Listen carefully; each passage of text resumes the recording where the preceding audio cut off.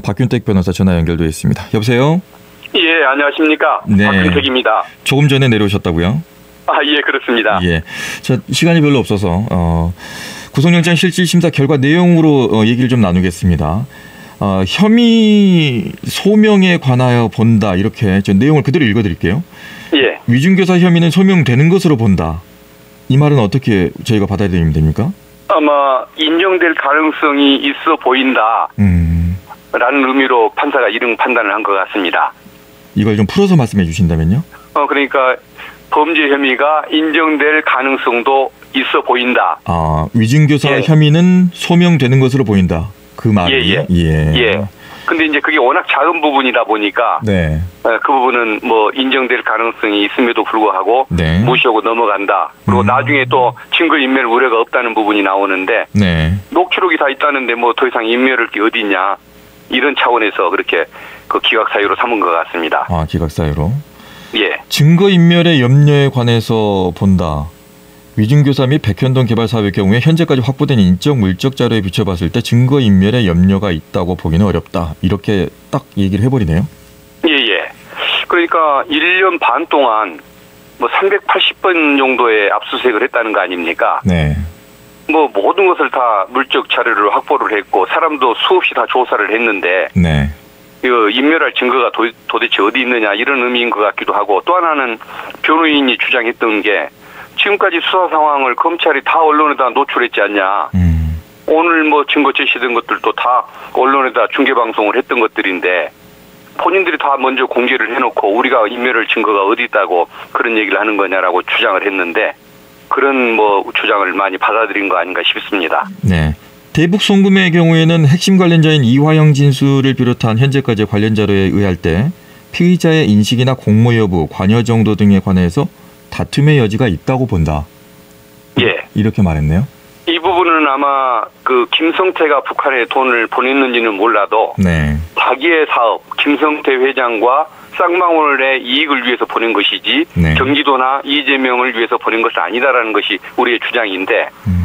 이재명 대표가 김성태 회장을 한 번도 만난 적이 없습니다. 음. 차한잔 마신 적도 없고 그것은 이재명 대표, 김성태 회장 그리고 검찰의 판단이 다 마찬가지입니다. 음. 그렇다고 한다면 그것은 돈을 그 100억을 냈다는 사람에 대한 어 그 관계로서는 있을 수가 없는 사, 어, 있을 수가 없는 일 아니겠습니까? 네. 그러다 보니까 그 어떤 그 대납했다는 그런 증거로 삼기가 어렵다는 그런 취지의 판단을 그렇게 해놓은 것 같습니다. 네. 그리고 여기서 보니까 피의자가 직접적으로 개입했다고 단정할 만한 자료는 부족한 점이 보인다 이렇게 돼 있네요. 예예. 음. 그러니까 그 혹시 뭐 직근이나 또 직원들 중에 혹시나 부당한 행위를 한 사람이 있었을지는 모르겠지만 이재명 대표가 거기에 대해서 지시를 하거나 개입했다는 직접적인 증거는 없다 음흠. 이런 의미인 걸로 보여지는데 네. 어, 검찰이 수많은 뭐 자료를 갖다 내긴 했지만은 이 대표님이 직접 개입했다는 뭐 증거가 부족하다는 판단으로 보시면 될 것 같습니다. 네. 지금 유튜브로 많은 분들이 지금 보고 계시는데 혹시 궁금한 점 있으시면은 지금 박윤택 변호사에게 직접 질문하셔도 좋을- 좋을 것 같습니다.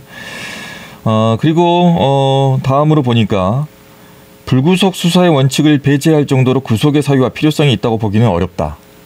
예. 말 어렵네요. 아, 예. 그러니까 도주 및 증거 인멸의 우려가 없다. 네. 라고 이렇게 바로 기각 사유로 삼아도 되는데 네. 아마 또 검찰이 열심히 뭐 수사를 했던 또 정성 같은 것들을 또 조금 존중해주는 차원에서 네. 아마 그렇게 살짝 애매한 듯한 표현을 써준 것이 아닌가 싶습니다. 네, 보통 이렇게 애매하게 좀 씁니까? 어, 보통은 그냥 도주 및 증거 인멸의 우려 없음 네. 또는 뭐 방어권 보장이 필요함 이런 네. 식으로 기각하는 경우가 많은데 아. 그건 조금 뭐 저 상대방의 자존심을 너무 긁지 않는 범위 내에서 기각한 것이 아닌가 싶습니다. 아, 이런 식으로 배려도 합니까? 예. 아니, 근데 그러면은 이렇게 여지를 주면 예. 검찰이 또다시 영장을 청구할 가능성이 있습니까? 그 국회의 벽을 넘기도 어렵고 네. 또 판사가 사안별로 구체적으로 판단을 했기 때문에 지금까지 모든 수사를 다 마쳐놓은 상태에서 새로 뭐 새로운 자료를 추가로 낼 것도 없어서 사실상 재청구가 어려울 걸로 보여집니다. 네. 지금 음, 가장 이제 뭐 이거의 시작이라고 볼 수 있죠. 백현동 같은 경우 예. 보면은 이제 아 이렇게 써놓긴 했네요. 피의자의 관여가 있었다고 볼 만한 상당한 의심이 들기는 하나. 예. 예. 한편 이에 관한 직접 증거 자체는 부족한 현 시점에서 사실관계 내지 법리적 측면에서 반박하고 있는 피의자의 방어권이 배척될 정도에 이른다고 단정하기는 어렵다고 보인다. 아유, 예. 예. 이거 해석해 주세요.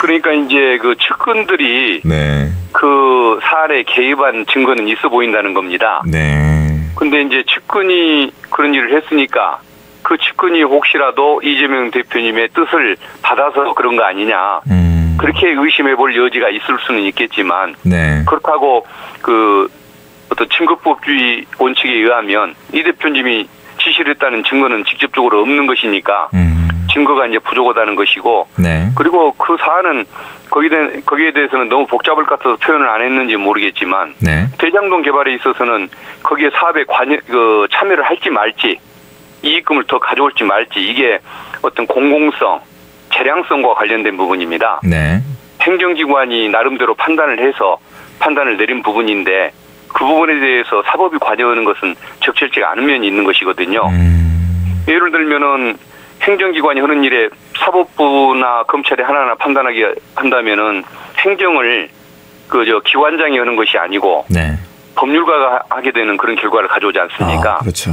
예, 그렇기 때문에 그건 굉장히 자제돼야 할 부분인데 네, 아마 저희들이 그 부분을 많이 주장을 했고 그래서 아마 판사님 결정에는 그 내용도 많이 포함은 돼 있을 것 같은데 직접적인 언급은 안 돼 있는 것 같습니다. 예. 아, 일단 어제 어, 가장 옆에서 지금 이재명 당대표가 있었는데 아무런 말을 하지 않았습니다. 기자회들의 질문에도 예, 예, 뭐 들어갈 때와 나갈 때 아무런 말을 하지 않았는데 이건 의도된 겁니까? 저는 좀 약간 의도돼 있다고 보여지기도 하던데. 아마 제가 보기에는 그 재판부 음, 재판부의 그 판단에 이렇게 모든 걸 맡기겠다 음, 이런 생각을 아마 가지셨기 때문에 네, 언론에 대고 또 그 장애 발언을 하는 것이 어뭐썩 바람직하지 않다는 아마 판단을 하셨던 것 같습니다. 반면에 박윤택 변호사께서 인터뷰를 상당히 많이 하셨어요 기자로.